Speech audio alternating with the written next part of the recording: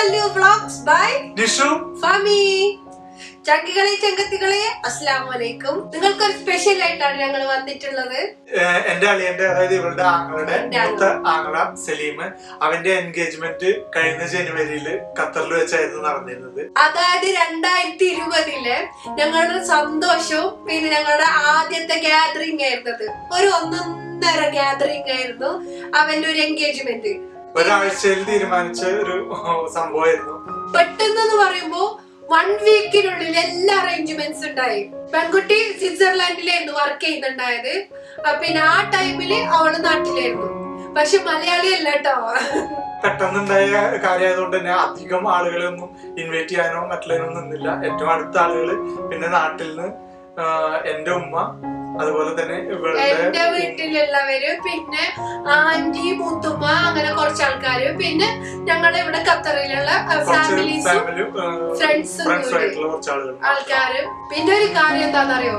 നാട്ടിൽ നിന്ന് എല്ലാരും ഇങ്ങോട്ട് വരുന്നല്ല അല്ലെങ്കിൽ നമ്മൾ നാട്ടിലേക്ക് പോകുന്ന അവിടെ ഉണ്ടാകുന്ന ഒരു ഗ്യാതറിങ് ഇത് ടോട്ടലി നമ്മൾക്ക് ഒരു ഡിഫറൻസ് ഉണ്ടായിരുന്നു. ഒരുപാട് ഡിഫറൻസ് ഉണ്ട്. അതായത് നമ്മൾ ഒരിക്കലും മറക്കാൻ പറ്റാത്ത കുറെ കാര്യങ്ങൾ നമുക്ക് ഇന്ന് ഓർത്തു വെക്കാൻ പറ്റുന്ന രീതിയിലുള്ള ഒരുപാട് ഓർമ്മകൾ തന്ന ഒരു ഗാദറിംഗ് ആയിരുന്നു അത്.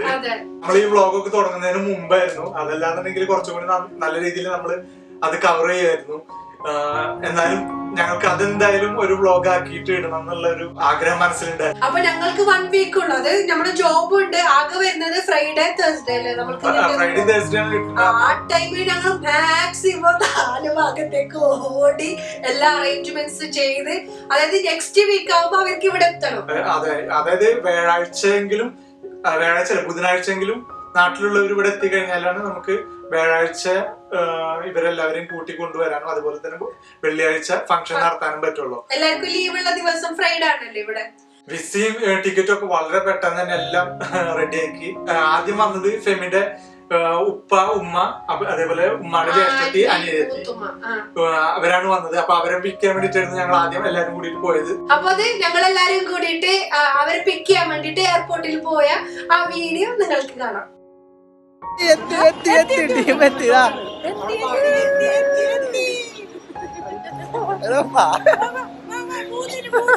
അങ്ങനെ ഫംഗ്ഷൻ അവർ അവരെത്തുന്നതിന് മുമ്പ് ഞാൻ മൈലാഞ്ചി ഒക്കെ ഇട്ടിട്ട് സെറ്റ് ആയിട്ട് നിൽക്കുന്ന ടൈമായിരുന്നു അപ്പൊ എന്റെ ഒരു ഫ്രണ്ട് വന്ന് ഇവിടെ ഒരു മെഹന്തി ആർട്ടിസ്റ്റ് വന്നിട്ട് എനിക്ക് നല്ല അടിപൊളിയായിട്ട് മൈലാഞ്ചി ഒക്കെ ഇട്ട് ശരിക്കും നമുക്ക് നാട്ടിലുണ്ടാവുന്ന ആ ഒരു രീതിയിൽ ഞങ്ങൾ കൊണ്ടുപോയി.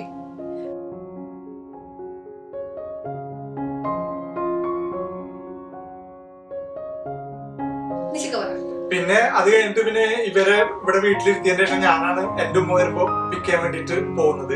അപ്പൊ അതുകൊണ്ട് തന്നെ കുറച്ച് തിരക്കിലായിരുന്നു. പിന്നെ അത് മാത്രമല്ല ഉമ്മയുടെ ഫ്ലൈറ്റ് ഡിലേ ആയതുകൊണ്ടും വീഡിയോ ഒന്നും എടുക്കാൻ പറ്റില്ല ജസ്റ്റ് ഒരു ഫോട്ടോ മാത്രം എടുത്തുള്ള. ആ ഫോട്ടോ ആണ് നിങ്ങൾ ഇപ്പൊ കാണുന്നത്. നെക്സ്റ്റ് ഡേ ആയിരുന്നു ഉമ്മച്ചി എത്തിയത് തൃശ്ശൂരിൽ നിന്ന്. അങ്ങനെ ഞങ്ങൾ എന്ത് ചെയ്തറിയാം? നെക്സ്റ്റ് ഡേ മോർണിംഗിൽ ഞങ്ങൾ നാടൻ ഫുഡൊക്കെ ഉണ്ടാക്കി കഴിക്കുന്ന വീഡിയോ ആണ് നിങ്ങൾ ഈ കാണുന്നത്.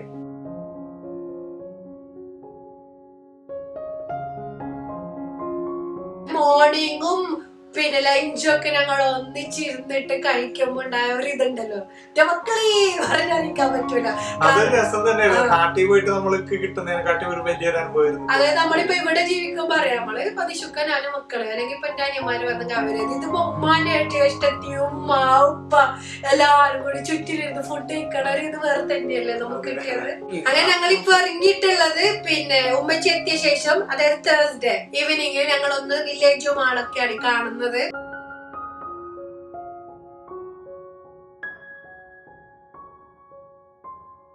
ഇവർ ഭയങ്കരമായിട്ട് ടയേർഡ് ആയിട്ടുണ്ട്. നല്ല ടയേർഡാണ് കാരണം അവർക്ക് ശരിക്കുള്ള റെസ്റ്റ് കിട്ടിയില്ല. സംസാരിച്ചിരുന്നതാ. അവർ വന്നതിന് ശേഷം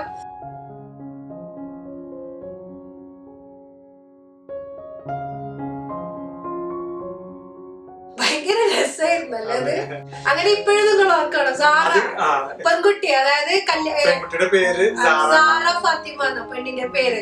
അവൾ ഇപ്പോഴും എത്തിയിട്ടില്ല. ഞങ്ങൾ അങ്ങനെ വില്ലേജ് കറക്കൊക്കെ കഴിഞ്ഞ് കുറച്ച് ഫോട്ടോസ് ഒക്കെ എടുത്തിട്ട് ഞങ്ങൾ മെട്രോയിൽ കൂടി നേരെ എയർപോർട്ടിൽ അവളെ പിക്ക് ചെയ്യാൻ പോയി. അവൾ ഇതേപോലെ എത്താൻ വേണ്ടിട്ട് ഒരുപാട് ടൈം എടുത്തു.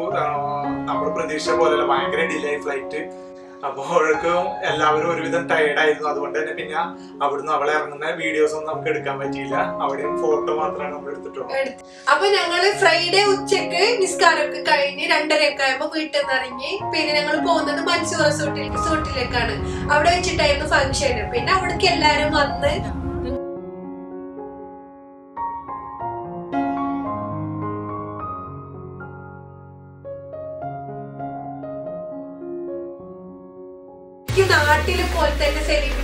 ഫ്രണ്ട്സും ഞങ്ങളുടെ ഫാമിലീസ് ഒക്കെ വന്നിട്ട് അതെ അതെ. ആ വീഡിയോ ആണ് നിങ്ങൾ ഈ കാണുന്നത്. കണ്ടുകൊണ്ടിരിക്കുന്നത്. അതന്നെ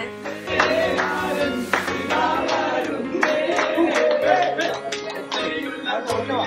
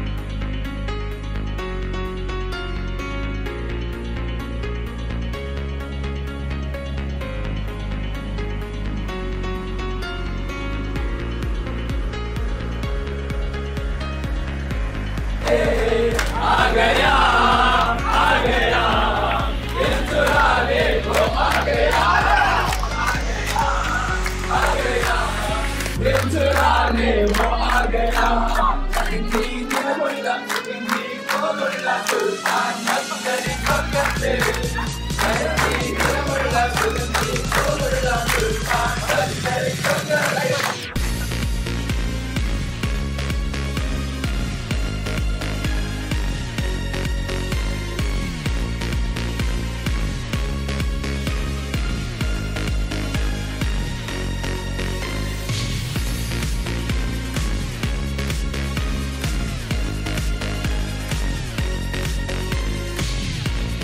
അതൊന്നുകൂടി പറയണമെന്ന് അറിയില്ല.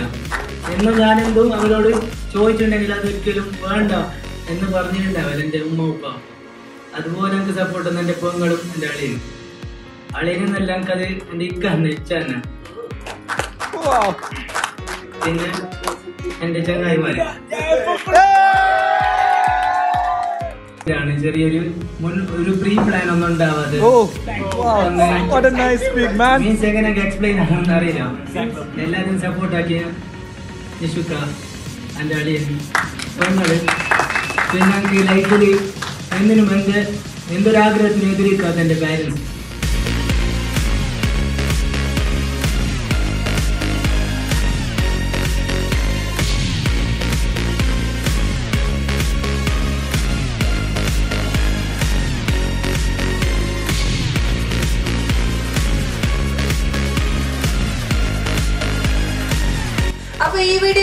ഇഷ്ടമായിട്ടുണ്ടെങ്കിൽ കമന്റ് ചെയ്യുക ഷെയർ ചെയ്യുക സബ്സ്ക്രൈബ് ചെയ്യൂ.